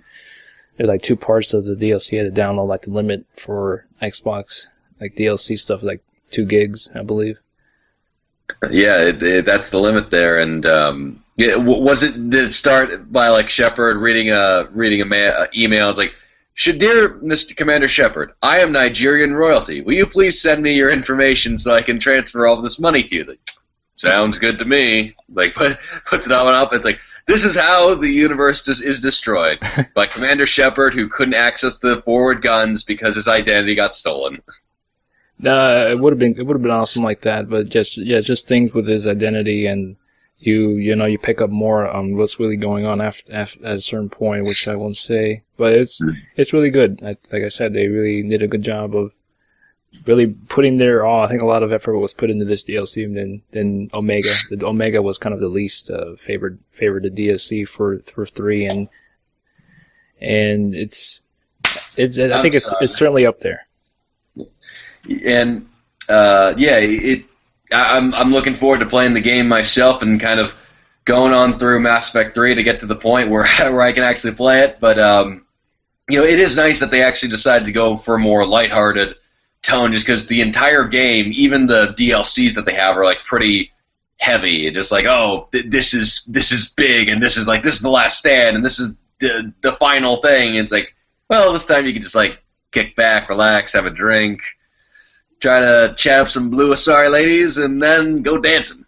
Yeah, yeah, that's what I loved about it. It's, it's really well written. There's a lot of funny moments. Uh, if you don't mind, I'll probably say one one of the few, one of the many few money one of the many funny moments of, of the mm-hmm. DLC that happened was, uh, it all kind of it all kind of leads up leads up to you putting a party together and just you know having all your pretty much everybody from from the past games in there. I think I don't know to the full extent of you know how much of former squad mates are there, but for the most part through overall through the DLC, you you can uh, you know have characters like Rex and uh, like I think I think Miranda in, in your squad and you know oh, characters cool. that you didn't get to have on your squad for for three are some more. I think most of them are able to get on your squad, and it's a lot of funny moments after you pick your squad where one of the crew, one of the squad mates would say, "Oh man, I never get picked." well, Vega, if you just expressed yourself a little bit more often, then I would pick you. Yeah, just a lot of the yeah, like I said, just self-referential stuff about the series and a lot of the nuances that fans have picked up and they've, they've put it into this DLC. lot It's a very fan service uh, DLC, and they always there's a moment where they made fun of uh, Liara how, much like how she how much she says uh, thank the goddess. That's that's brought up and and a moment where you're talking to EDI and she's like asking Shepard um how she's how what gifts to give to Joker and to show her that she that she's uh that she like likes him and uh, she goes through like this laundry list of things and then there's a there's a there's a, a moment where you can hit the paragon uh you know the paragon indicator and then hit that and the Shepard's like wait it's like it was like really dramatic uh fun, serious uh like him stopping her in mid sentence. Like, if you want to show your love to him, you should you shouldn't uh, go bankrupt because of it. Because like, she's like gonna buy him a car and just all this stuff. I, it, I that sounds fairly freaking good, and I love the fact that they're going, they're really self-referential, just having a good time, fan service left and right. Of oh, we want to have these characters in there. I I cannot wait to dive in. Yeah, it's a really kind of saying your goodbyes to all those characters for that for that DLC was really good. The experience is definitely worth fifteen dollars uh, for the DLC. There's a lot of content. There's that. There's the casino and just other things available on the Citadel that weren't in the three that you could explore. There's a lot of interesting Mass Effect themed games a part of those casinos. Uh, kind of a, there's one like this kind of Rock and Sock'em robots type of game of game on one of the casinos where it's it's those kind of robots you you faced through the Mass Effect 2. Oh, so it's yeah. just them going back, you know, hitting the left and right trigger for for punches, and then w- keep you know keep doing it until like one of them head blows up, and that's like the end of the game. And you can bet on those uh, on those uh, an- those uh, oh, I forgot what they were called. Um, it's it's those animals that are oh, um, that that they use in in in two uh, from the Krogan homeworld. Varren. Varren, yeah, you can you can place bets on races of of Varrens, just things like that. It's a lot of there's a lot of stuff there. It's it's definitely worth the, the fifteen dollars, more so than the other DLCs they put out for him, which most of them have been multiplayer. I think two of them have been like single player, like the Day One DLC and the mm-hmm. Omega one. It's Yeah. the Citadel one is definitely up there of, of enjoyment and worth every every, every cent. Um, up there with uh, the Shadow the Broker DLC. Ooh, now do you think that this is better than the Sh- Lair of the Shadow Broker, or or do you think it's like on par, or is it like as good in a different way, or I think it's as good as a, di- in a different way. I wouldn't say Okay. is as, as I don't want to say is better than, than Shadow Broker. I think both of those DLCs do are doing two different things, and like I said, that it's as good in a, in a different way. Okay, excellent. Well, um, on my end, I, I've uh, I, I've I've been playing a few games. I've uh, uh, uh, Xbox, Microsoft had a, you know surprisingly had a sale for a lot of their Xbox games on demand, and uh, I took the opportunity to pick up two. One was um, El Shaddai Ascension of the Metatron for about uh, three or four bucks, and Wow! I'm really I'm sorry. I was saying wow that they actually have a sale on there. Yeah, I, I, it's it shocked me too. I, I actually learned on looking at the links of like Destructoid and Giant Bomb and and everyone else. Like, wow, they're actually having a sale. That's that is really surprising. They're dropping their prices from the forty dollar games that we've already seen from like two thousand and seven, and and you know they, they got that they sold that one. And then they also had a I think a four dollar or five dollar price tag for uh, Ghost Recon Advanced Warfighter because you know I, I I'm a big fan of Tom uh, Clancy's Splinter Cell game, so I was thinking, no, you know, maybe I'll try some uh, Ghost Recon because I haven't tried it since the Xbox days. So, Hmm. giving that a spin, I'm, I'm actually enjoying that. I haven't gotten too far in either of the games, but uh, I like uh, GRAW 2, as it's colloquially called by all the kids down the street, as they uh, enjoy their hopscotch and pogs and uh, and uh, all their cool Ronald Reagan references. And uh, then uh, there's uh, the uh, uh, uh, El Shaddai, which I really love. I love the hell out of the art style. I have no idea what's going on in the story, but I love. I just absolutely dig the art style that they got going on, and it's uh, from the same creative director as uh, um, uh, De- Devil May Cry and the original Resident Evil. It's like, wow, this is this is really interesting. It's really inspired. I I, I just love the look of everything, and maybe I'll understand more about the story later. But you know, for right now, it's kind of confusing. But hey, whatever. It's it's still a fun game, and the gameplay is kind of more. I don't know how you would call it therapeutic, where there's no real strategy to it, and there's no like, oh, you got dodge and then you got attack. It's like just okay, attack when you want to, and just make sure you don't die, and that's basically it. And uh, the big game that I've been playing was uh, Metal Gear Rising: Revengeance, and uh, I it's the spin-off of the Metal Gear Solid series where it's uh, stars uh, Raiden as the main protagonist again, but this time instead of being kind of a stealthy soldier like Solid Snake has been, he's this he's this badass uh, cyborg ninja, and I am really surprised how good it is. It's uh, this you know hack and slash game where you can slow down time and rip your enemies to shreds and just chop them up into a billion pieces. There is some slowdown though when you start to chop up some of the kind of big mechs and the geckos and uh, some of the bigger sort of enemies that you have there.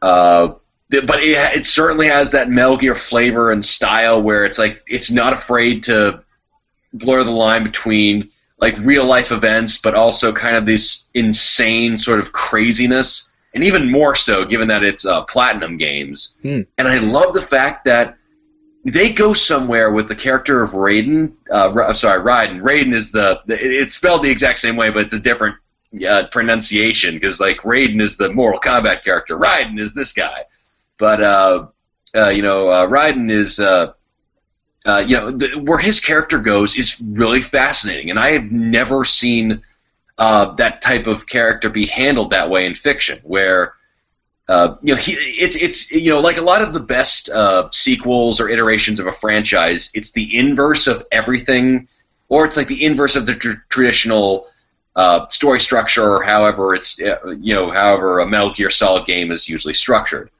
Where Raiden starts out as uh, he's this confident guy. He's in his prime. He's not like uh, Snake in MGS4, where he's kind of just wanting to die and just wanting to get rid of this one thing and then be over with it. Nor is he kind of like the inexperienced rookie. He's in his prime. He wants to help the world, and you know he really he has a really good heart. And where and but what he does is he kills people. This is the first Metal Gear Solid game where you can't avoid killing people where, uh, the first time around at least. You can do you can beat the game and then lock a wooden sword which you know just stuns them. But uh, you know, for the most part you have to kill uh, people in this game. And it's fascinating what they do with that story thread and and how that character responds in terms of the story of violence and kind of how he justifies it is really really interesting and this game walks a really fine line between being a loving iteration of the Metal Gear uh, franchise and also being this really funny satire of it. Because the, the last boss is so ridiculous. But then when you start to think about the boss in Metal Gear Solid 2 or in uh, Metal Gear Solid 4 or you know even Metal Gear Solid 1 where it's like, oh my god, these are just as ludicrous as this one. This one is just a lot more on the nose about it where I don't want to spoil it, but it just it's so the the character is so crazy that you just thinking and you know he uh, of course being a Metal Gear game he has a philosophy and everything behind it and he kind of makes sense in his own in his own head, but it's just so funny and so weird that I I, I think this is a, a, very smart uh, satire of it. The only thing I would recommend uh, it, it's not a perfect game I don't think the combo system is that well implemented. It just it just feels like okay, just hack and slash away. There's no real strategy to anything. Uh, to the games, like okay, you just got to make sure to parry at the last, you know, at the right second to uh, really uh, help.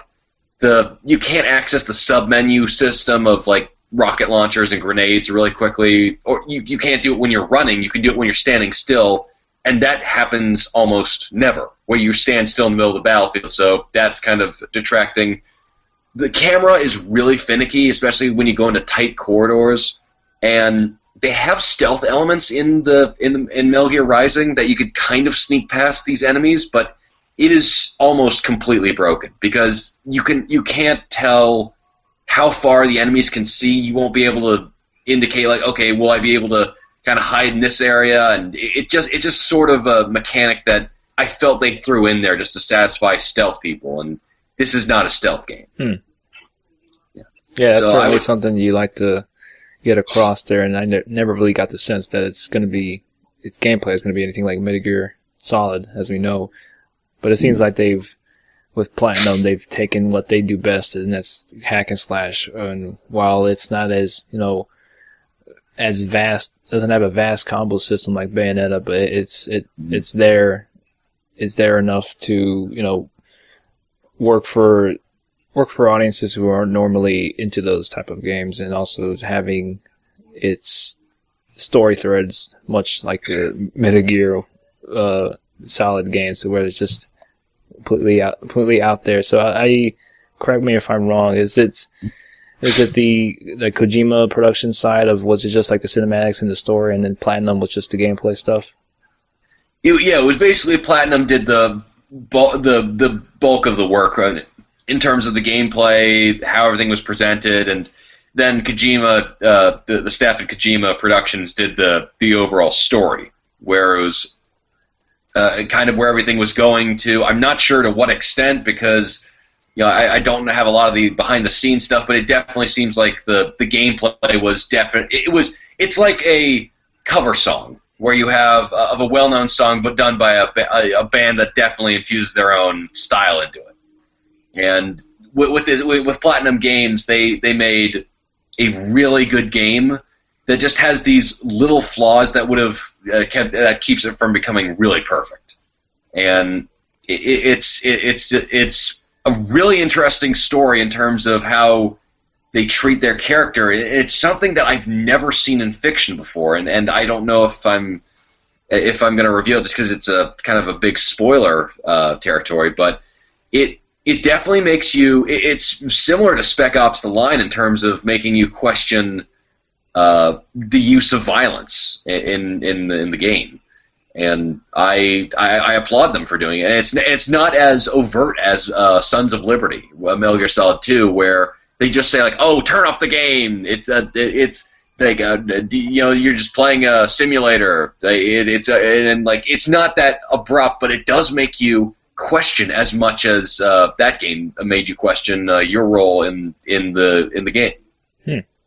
Yes, it's a very interesting game. The cutting mechanic is definitely the most fun thing because you can chop guys into a billion pieces, and it's it's you can you know chop off specific limbs, and it, it's it's kind of the, just the uh, the masochist dream of just being able to you know completely uh, chop off everything. It- It's definitely a therapeutic session if you if you ever get the opportunity to play because it's uh, it's it's a really good game. And also Raiden, I, I never had a problem with uh, him. I just had a problem with how they used him in Sons of Liberty, where it's like okay, he has this cunt of a girlfriend. He's like, Jack, do you remember what day it is today? And it's like, woman, for the last damn time, I am on a mission. I getting shot at, and you know, d- someone stole my clothes, and I got a ninja here, and there's a giant uh, Tyrannosaurus Rex looking mech coming after me. It's like I don't have time for this.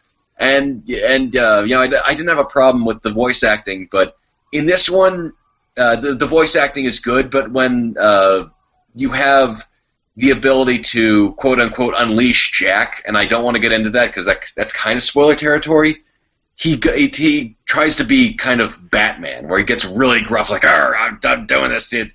and it's like that's just too much. Where it, you know he's trying to act uh, way too tough. Yeah, I've seen clips of, of that part where he's going into that Christian Bale Batman voices. Oh, it's really it's a, it's a really you're trying too hard, man. Mm-hmm. you're out you're out you're out doing uh, Christian Bale the Batman voices.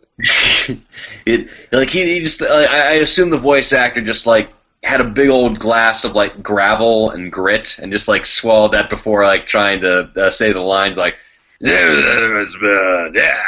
it's like uh you sound almost cartoonish man just, just roll, reel it back a little bit Yeah, I've heard good things about it. I'll probably eventually pick it up. I like Platinum Games as a developer, and it seems like this is something that that I would quite enjoy. Something that is a you know, re- relatively a bit more simpler hack and slash than, than Bayonetta, but it still retains uh, these these, Yeah. these similar themes and it's of the Me- Metal Gear Solid, but, ha- but having a different gameplay, and it does And- more things to flesh out the character of Raiden.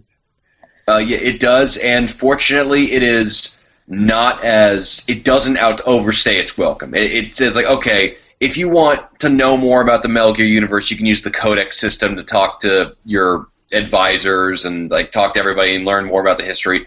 But if you just want to get into it and just have a you know just a grand old time without worrying about the whole background of the Patriots and nano machines and the uh, private military corporation rise and fall and what's been going on, and you can just skip all that, just enjoy the main story, and then uh, and then just you know have a you know grand old time chopping up things. Because uh, there's nothing more fun than uh, chopping up a bipedal tank that moves like a cow. Yeah, or you could just Wikipedia all that information after because it's been quite a while since I've played a Metal Gear Solid game, so I need to be a little bit. I need a kind of refresher course on uh, what's what's going on. I I know that's it's not heavily reliant on the past games to enjoy it. I, I- know it's kind of his own standalone, but some of the kind of terminology and other things uh, would be a little bit nice refresher course on um, your own time there. So yeah, sounds Yeah. sounds good. And that was the game that I that I've been playing right now, and so um, yeah, I can't wait to play a little bit more and get right back into it. All right, did you want to go over to the question side of things? I think that's pretty much Yeah, about it on the news side. You got it. Let's uh, let's jump right into it. The first question is from Herman, who says, "What are your thoughts on the upcoming Ma- Mass Effect 3 D- a Citadel DLC? What what a coincidence!" Yeah, I should have saved that discussion for the when we got to questions. Looking looking back on what's what we have in front of us in questions. But I, I, if you're listening to this, Herman, I'm sure you already have an idea of what I thought about the Mass Effect 3 Citadel DLC. So I think that Mm. question was really uh, well answered Hmm? before we got to this one. Well, it seems like you. It sounds like you enjoyed the game for what I think I might enjoy about the Citadel, Citadel DLC, which is that it's a lighthearted adventure, lots of in-joke references, and just kind of like a uh, a good a good you know good uh, feel joy kind of ge- a game where you're like, ah, that's awesome. I love my friends. Yeah. Oh yeah, that's that's definitely what it is, and I look forward to talking talking to you about it if once you actually play, and then maybe do a little review on it. That'd be that'd be interesting to have a discussion it. on it. That'd be awesome. So You got it, buddy. As soon as I do it, we'll be we'll sit down for a review. fantastic. So we'll move on from from that. Thank you for the question, Herman. Thank you. and we'll move on to Jack Burton. And his question is, what are your thoughts of what are your thoughts on the pricing and content of the Crimson and Majestic map packs for Halo 4? Halo 4? And do you feel that some of the new multiplayer modes, such as SWAT and Team Doubles, should be permanent and not on some scheduled rotation? I Mhm. realize you'd may, you two may not have played them, so any thoughts of these types of DLCs are welcome.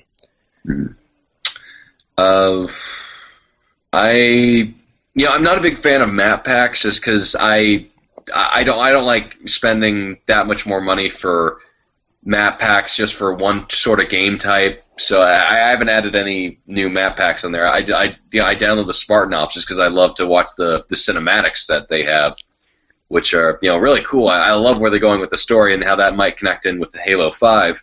But um, you know, I, I just don't see that big of a deal for uh, Crimson and Majestic map packs. Maybe when they get lower in price, or they'll have like that thing where they had like uh, with Halo Two, just released a whole disc full of maps.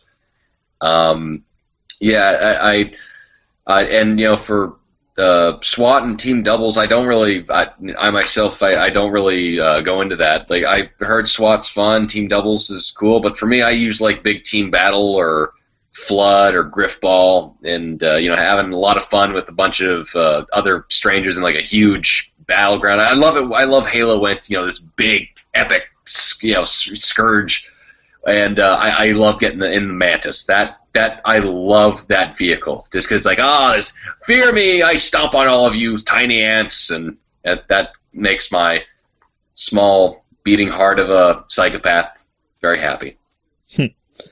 Well, I well I don't have much experience with some of the map packs of Halo because I've, I've been playing Halo Four. Uh, from what I can tell, just from, from from my experience that I've had with some of the multiplayer stuff for Mass Effect Three, that I where most most of the map packs were free, and I think there's like one or two that that, are, that you actually pay for. That, that I think that was all due to the uh, whole Mass Effect Three ending fiasco there.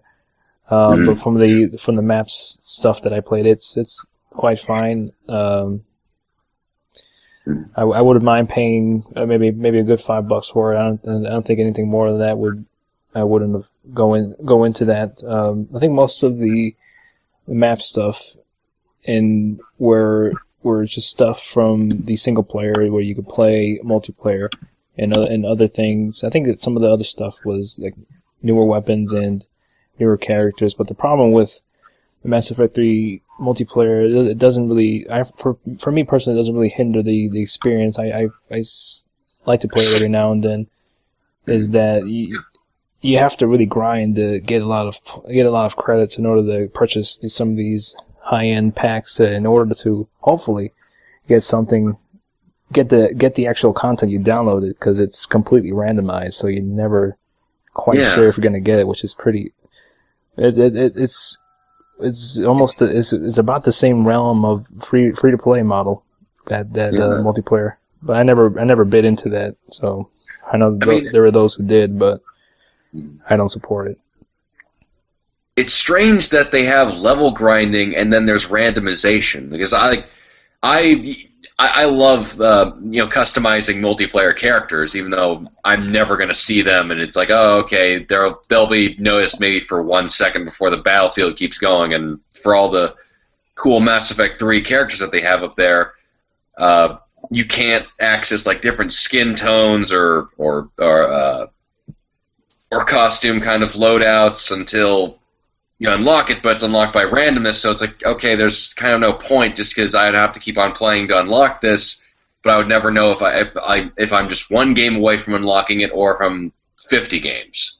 So it's uh, it doesn't really make too much sense to me to uh, do the multiplayer route unless I'm feeling Mass Effect multiplayer, which you know I I I'm sometimes stri- The mood sometimes strikes me, and yeah, I, I enjoy that. But uh, uh, you know, map packs and that sort of thing, unless they're I don't know. Like, I, I've I've never been attracted to them, even with like Call of Duty, Modern Warfare sort of stuff. I, I'm not really one to jump at a new map pack.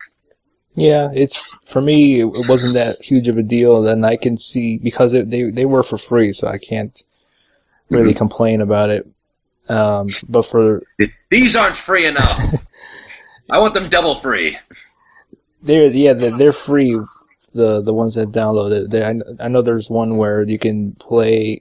I think they. I don't think you can play as them, but you they're newer enemies in in in the multiplayer for three, which is the collectors that, Hmm. that you can that you could play. I'm, I'm just not a. I wouldn't have been a huge fan of it if I had if I paid like five bucks for it and and I didn't get the content so that I can play as a Geth right away. And like I said, it wasn't a big deal because I got it for free. But it, it really was. It really sucked to have to grind and and get these credits and survive um, and play multiple missions just to that I can hopefully get the the Geth character model so that I can play it. And once I did, I I was burnt out by it, and I just took a break from that multiplayer for Yeah. for a while because I just got burnt out by it. But even those are the grievances I had towards it, but it's still a good multiplayer nonetheless. If you if you don't uh, Yeah. You know invest the time to do that, um, just to kind of enjoy the characters you got. But it is terrible if you, should be able to have that right away. Once if you paid for it, you shouldn't have to randomly, hopefully, unlock it. Yeah. And And- and, the, like the weapon stuff is it's cool to have them, but it's not a huge like you're not have an advantage because that multiplayer is not about you know having the upper hand on on other players. It's all about working together. So it doesn't really matter. You're never really overpowered by anybody. I think everyone's pretty much on the equal footing. From that's what I, from what I got. So it's nothing about being competitive. It's about co-op. That's what it all is about. Exactly, and and you're actually the gameplay forces you to work together because you need to stay in in a group and heal each other when possible, and and go to uh, checkpoints to download stuff, and uh, it doesn't work when you're working against each other. In fact, you're more likely to lose. So it, I like that it actually encourages you to do co-op stuff rather than uh, rather than just you know having yourself just go running gunning and not really caring about anybody else. But well, you know, once again, I, I don't like the fact that it, you know uh, developers think that the way to good multiplayer is for the players to grind their way because I you, we all have stuff to do. We don't have all the time in the world to sit down and, and play through God knows how many matches just to unlock the things that we want to. And I'm sure as hell not going to pay for it with actual money. And I would rather pay it with Disney dollars uh, that they have. But it, you know, I, I, I just wish that they would, you know, just say like, oh, okay, they, they paid for the game, so we'll just have them uh, unlock the characters because it, it doesn't make sense for a lot of their pricing stuff and a lot of their unlockable chests for costume pieces or for weapons. Yeah, I think that that side of, of things and, and the model of that multiplayer, how it was structured, how you unlock things, I think it had a lot to do with EA. So that's all yeah. we got to say about that. It's, it's EA getting in. Speaking of EA, I think that's our next question. Yes. Yes, indeed. And we ourselves here got ourselves uh, Chris versus Chris. It's a man against himself. And he asks, what are your thoughts on EA stating that every future release by them will uh, will include microtransactions? Well, uh, I well so far I know of the microtransactions that have been implemented in EA games with quite recently mm-hmm. the Dead Space three.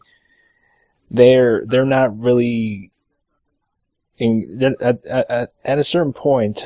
I hope that this does not happen. It, it I like to be optimistic about it, but it, it, it might eventually happen. There'll be one game where you'll have to purchase something, some type of microtransaction in order to advance in the game. But from you know what I've heard in, in reviews that you don't have to spend a single dime on the microtransactions for, for Dead Space 3 and, and, and on the other hand like by the end of the game you're really pretty overpowered so Mm-hmm. And a lot of a lot of that stuff and how it, how it sounds. I mean, it just seems like you're really cheating the game. Like you're really ruining your experience with it and not working, working, uh, work, working with it. It's like you, it's like you're gaining these items and, and stuff and paying for them, but just uh, you can make the game easier on you. It just doesn't seem like something that I I would do. It's just like it really cheapens your experience. And that, well, I mean, what's the point of be paying sixty dollars for it if we're not going to work towards getting those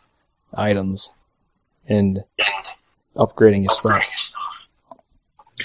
And yeah, it, it's something that the reviewers all know that that was a small thing, but it was still a kind of a gripe that they all had, which is, you know, Dead Space is known for not having any menus, having everything, all the menus that they do have that you bring up are in, are kind of in universe sort of, sort of things where they don't break the uh, immersiveness of the of the environment, and then you suddenly have like an option like, oh, pay here for for microtransaction bucks. Like, okay, that's that's a that's kind of a that's the only sort of break breaking of the immersion that they have there, and I I'm really worried about microtransactions because they they see you know Facebook games and iPhone and iPod, uh, iPod, iPhone games from Apple making all this money with microtransactions, and they don't understand that's a different market for a different demographic, and people don't want to pay, you know, a, a dollar continuously to to get a new gun that they see or a new. Uh, uh, you know, to get more ammo over here, or for a new costume pack and it, it's like wh- what happened to just giving us the game that you were working on for sixty dollars? You, I give you sixty dollars, you give me the game, and we both depart amicably.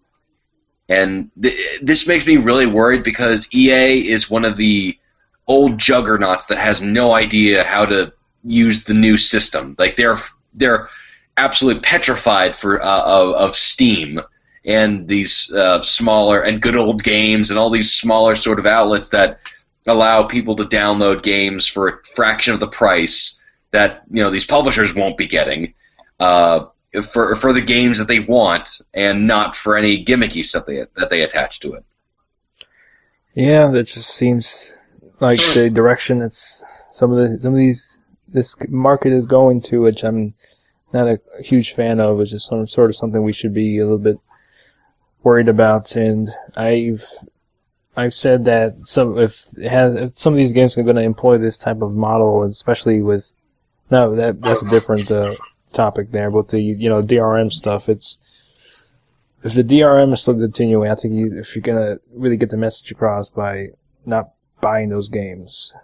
Yes. But the thing is that it's one of those things that it's very hard to get people together to do that certain thing. Mm. And I think most publishers, all they really care about, like the first week sales. The the, the thing about games, the games industry is, it's a really, it's a really tough, it's a really tough industry, and it's it has a short attention span uh, with its with its Yes. with its cus- customers. Um, a, a certain game, let's say Tomb Raider. I mean, that's already out. That's going to be people are enjoying it so far, but that's going to be forgotten about in a in a week or two, and then people are already thinking about the next game. That's just Yeah. the market we're in, It's the nature of the business, yeah. and all the publishers are. Um, are trying are trying to get as much money as they can that first week. hmm And people have the, the all the attention on that. And they're getting it through many different ways and microtransactions and and all that stuff. I just uh, not liking where it's going. Yeah, it's it, it's getting to a very strange place where you have uh, you know these huge multi-million dollar budgeted games that sell you know 50 million copies with a 600 uh, with a 600 person staff behind their games, which is the Resident Evil 6 analogy, and it can still be considered a failure. And it's it's like uh, in what universe does that make sense? Where you know where you know it was it was it, just just getting a million sales was uh, you know a, a feat unheard of you know, half a decade ago, and now it's like now it's commonplace and it's still not good enough. It's and with these microtransactions, it's that okay, we need to keep uh, the money flow alive, but it's not. They're doing this for the short term, and that's what's really worrisome. Where they're not thinking of the long term, where they're not thinking of oh, okay, we're kind of screwing over. Uh, we're we're screwing over the customers by having by selling these games up front, promising a lot, and then not really delivering on them. And and I, I, I have a feeling that uh, these people are going to get are going to realize soon that you know EA has burned them a lot, and I think that that's going to hurt them. And same thing with Gearbox in terms of uh, Aliens, Colonial Marines, and uh, and Duke Nukem. And it, it's it's it. I mean, it, it's I don't judge ev the, you know each new game based on what came before by that company or the publisher thereof, but just the tendencies that they have make me worried, and especially with these microtransactions, it's I, it, that microtransactions are something I only want to see for really small games, and that, and that's it. Because the if you include them in sixty dollar games, it seems disingenuous, and it seems like you guys are really just a bunch of thieves going after every cent that you can, rather than trying to make a good product and respect the customer. Oh yeah, it's. It, I don't mind things like season passes or even to some certain extent uh, online passes if it's from a smaller studio. Let's say like the Deadly Premonition studio.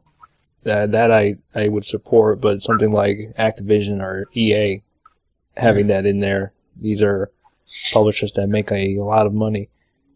It just doesn't seem like a very. It's like it doesn't seem like a very good proposition. No, And, and we're seeing now with these, they're very independent and just digital, digital arcade games that are doing really well and making a lot more money than these sixty dollar games we see now in the market. I don't know. I don't have the exact number, but I, I don't. I don't know how much Walking Dead has sold, but I'm. I'm pretty. I'm pretty confident it sold more than Resident Evil. Yeah, Resident Evil Six. I, I mean, especially in terms of its budget, because Walking Dead is Uh, and, and Walking Dead itself proved so many people wrong on so many different levels. Where it's like, okay, point and click adventure games are dead. That's false.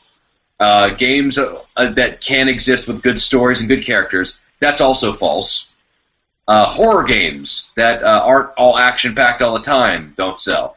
That's false. And it, it, it I, these games, and you know, especially uh, these types of games, uh, single player games that sell incredibly well, and these all these other success stories that the big publishers don't see, or they they they purposefully blind themselves to, so they don't have to change their model because the hardest thing for big companies to do is change. And so for them, these microtransactions are kind of their their their bet for a financially stable future that I don't think they understand is not going to be there if they don't change their ways. Mm-hmm. Exactly. Uh, thank you for the uh, question, Chris. Yes, thank Chris, you very much. From the from the very esteemed Better Gaming Bureau. Mm. Yes, indeed. Move on from from these from that question on to the final question of this podcast, episode 129. And that yes, is indeed. from Transmorpher. And More than meets the eye. So yeah. And she asks, uh, "What game has your favorite menu screen? Uh, one that you remember once you start up, start the game up after inserting this, di- inserting, inserting disc." Hmm. And yeah, that's a very good question. Not a very not a very few amount of games have really good menu screens. Like a, a lot of them are just pretty there, they're just to to get you from point A to B. Yeah, from point A to B. Like it, they're like DVD menus where most of them aren't very good. They just they just show you uh, like a clip of the movie, and some of them are just one are just are just parts that spoil the movie. Yeah, and others, like for instance, it, yeah, and others are just like these a picture of of the movie title, especially older films. That's just a picture of the movie title, and that's it, like nothing. There's uh even for recent movies like Argo, there was um the DVD menu is just like Ben Affleck looking really scared to the right, and then that's it. It's like and then play movie scene selection specials. Like oh okay, that that's kind of a letdown. Yeah, the, most of them are pretty pretty bland. Uh, but then you get like Lord of the Rings, which has you know these really cool menus that you can scroll down. It's like oh, they took time because they all look like actual books from like the set. And, like they turn the pages and it's like, oh, that's that's really cool. Mm-hmm. Um, what I think when I think of menu screens, uh, the ones that, that I really like and that I think really gets you into the mood of in playing the before playing the game is probably the the enslaved one is pretty is pretty good. It comes up to mm-hmm. mind. It's it's it, it's it keeps the context of, of what you're what you're getting into. That it has trip there, and you can once you're like going through the menus, she's she's her hand hand movements are corresponding to where you're kind of going along the menu, and just a, a lot of that is very referential to what the, the actual game's about and her character and mm-hmm. and like the Warhammer 40k Space Marine the that one's good. It's just like a, a it's like a, a, a in-game um, it's an in-game loop of of what the Space Marine uh, just killing orcs, just in this really awesome and well well shot and uh, perfectly just directed uh, kind of cinematic of just uh, him you know blowing through different orcs in the in the menus. It really gets me hyped up. It just like killed on a loop. It's just really awesome. Yeah, yeah, th- those are always awesome to have ones that really work well with kind of the game they're presenting. And I have uh, three different ones right now. Sorry, these. Uh, the first one comes to mind: Brutal Legend. Brutal Legend has an awesome. Uh, it, it's not only the main menu where it's it, it starts out with Jack Black going to this like uh, record store, and he's like he's looking for the actual Brutal Legend vinyl disc, and he's like, "Oh man, the, maybe I shouldn't have found it. Maybe no man can can uh, it has the right to take it. Oh, here it is." And then he just like opens it up. It's like, uh, and then you just open up and you just flip to the different uh, sides of the vinyl disc as well as the uh, as the actual cover of the vinyl, and it has all this awesome art on it. It's actually Jack Black turning the you know th- the the vinyl disc over, and that was just brilliant. I love that one. Uh, uh, Chronicles of Riddick. I guess it was also a really really good one where it's uh it, it's just this it's this changing cube that keeps going around that, you, that it flips over and it goes to like different sides like special features and it'll flip around or uh, goes to settings or what have you. And that one was really cool. And then the last one Halo Combat Evolved where it's a very plain menu but it's I just love it because it's so ominous because it's just the, the the shot of the Halo ring and it's just a camera uh, underneath, like capturing it all, while the Halo theme is going on in the background, just ah, and it's and it, it is. I, I just love it because it's so simple, but it's so ominous and, and threatening and beautiful, and it's it's it's I can't really put into words just why it's so awesome, but it just even though it's a very simple, it doesn't it, it doesn't do anything spectacular the me- the menu the, the menus that kind of pop up are just kind of superimposed over it, and it doesn't really do anything amazing, but just it works so well in its simplicity.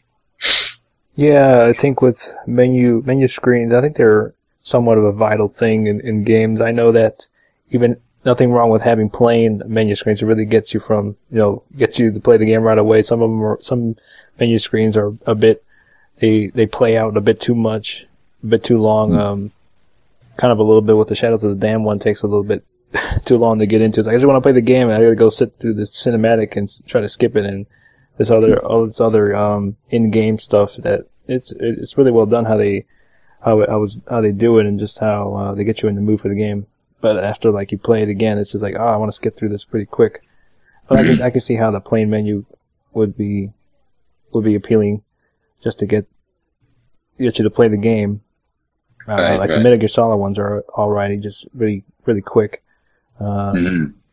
Yeah, it just depends. I think it just you. I think if you put in put in at least some work into it, and not just have it just be plain and bland, mm-hmm. and I really appreciate it. I think the like like the Skyrim one is is a good example of it not being too um, out there like the Warhammer 40k or the the ones you mentioned. They're pretty just simple that you see the logo of, of the Skyrim and it starts playing, slowly playing the Dovahkiin song. And just, that gets you in the oh, yeah. It makes me feel like I can accomplish things, but at the same time, it's an illusion. I said I'm sitting on, on the couch playing a game. Mm-hmm.